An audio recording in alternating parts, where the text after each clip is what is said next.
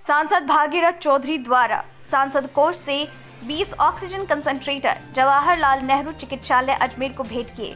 इस अवसर पर उनके साथ अजमेर दक्षिण विधायक अनीता भदेल अजमेर उत्तर विधायक वासुदेव देवनानी और जनप्रतिनिधि साथ में मौजूद थे। नवभारत समाचार, अजमेर राजस्थान से कैलाश व्यास की रिपोर्ट।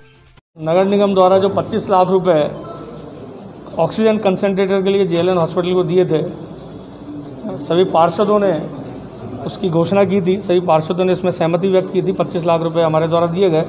उससे आज 26 कंसंट्रेटर जेएलएन हॉस्पिटल को प्राप्त हुए हैं। दस लीटर के ये कंसनट्रेटर है और 24 घंटे काम करने वाले हैं। साथ में सांसद महोदय के फंड से भी जो 20 कंसंट्रेटर आए हैं, ऐसे ये छियालीस कंसंट्रेटर हमारे अजमेर में इस कोविड महामारी से लड़ने में कहीं ना कहीं बहुत उपयोगी साबित होगा और इस लड़ाई को हम इस के आधार पर जीत पाएँगे, क्योंकि इस बार की कोविड महामारी में जो सबसे बड़ी समस्या आई, वो समस्या थी ऑक्सीजन की। ऑक्सीजन की कमी के कारण से कई हमारे प्रियजन, हमारे अजमेर के नागरिक कालकलवित हुए, कई परिवार इसके कारण उजड़ गए। इसको ध्यान में रखकर केंद्र सरकार द्वारा जहाँ ऑक्सीजन के जो ऑटोमेटिक प्लांट लगाए, उसके साथ में ये ऑक्सीजन कंसनट्रेटर कहीं ना कहीं बहुत ज़्यादा मददगार साबित हुए। विभिन्न सामाजिक संस्थाओं द्वारा भी दिए गए थे। और अब लगातार जेएलएन हॉस्पिटल को सी को, हमारे सी ऑफ़िस को हमारे विधायक कोटे से, सांसद कोटे से और हमारे नगर निगम के पार्षदों के कोटे से ये कंसनट्रेटर दिए गए निश्चित रूप से ये इस कोविड महामारी में बहुत उपयोगी साबित होंगे। इस संभाग का प्रमुख हॉस्पिटल है, संभाग मुख्यालय है यहाँ। और गत अभी जो कोरोना दूसरी लहर आई थी, उसमें बहुत बड़ी त्रासदी हुई ऑक्सीजन की कमी की वजह से।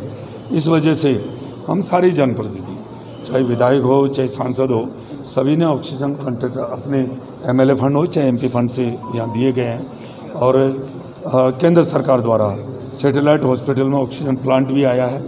और इस वजह से आज यहाँ जो बीस ऑक्सीजन कंटेटर एमपी फंड से यहाँ दिए गए हैं। दस लीटर का हैं और चौबीस घंटा। यदि रिक्वायरमेंट हो पेशेंट को तो चौबीस घंटा ऑक्सीजन सप्लाई भरपूर मात्रा में दी जा सकती है। इससे बहुत बड़ी एक जो त्रासदी हुई उससे बचाव के लिए कह रहे हैं कि तीसरी लहर भी आने वाली है। तो पहले से ही ये सारी रोकथाम और इसकी प्रबंध व्यवस्था होनी ज़रूरी है। इसके लिए जेलियन हॉस्पिटल में आज हमारे यहाँ के प्रिंसिपल साहब, सुप्रिटेंडेंट साहब, उनको हमारे विधायक उत्तर के भाई श्री वासुदेव देवनानी साहब, दक्षिण से बहन अनिता जी बघेल साहब और हमारी पार्टी के महापौर और सारे पार्टी के वरिष्ठ जन यहाँ आए हैं और हमने यहाँ इनको ऑक्सीजन कंसनट्रेटर हमने सुप्रत किया सर ऑक्सीजन कंसनट्रेटर की जाँच करा ली क्या पहले भी क्योंकि खराब आ गए थे जिन पर कोई नाम पता नहीं था जो विधायक कोटे से आए थे?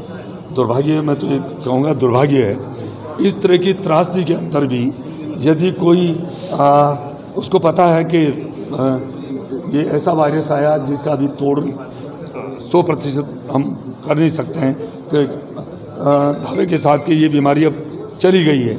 ऐसी स्थिति में यदि कोई एमएलए फंड से या कहीं से कोई कंस्ट्रक्टर देवें और उसमें भी गड़बड़ जाला कर देवें तो इससे बड़ा दुर्भाग्य हो नहीं सकता। है चाहे कोई भी व्यक्ति है, इस तरह का कोई कार्य किया, कोई अधिकारी किया तो ये दुर्भाग्य है, उसकी जाँच होनी चाहिए और उनको सज़ा भी मिलनी चाहिए।